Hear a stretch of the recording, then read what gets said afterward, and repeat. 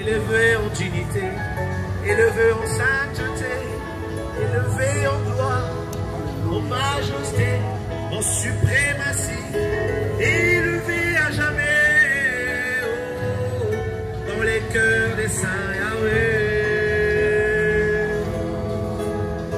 Et nos cœurs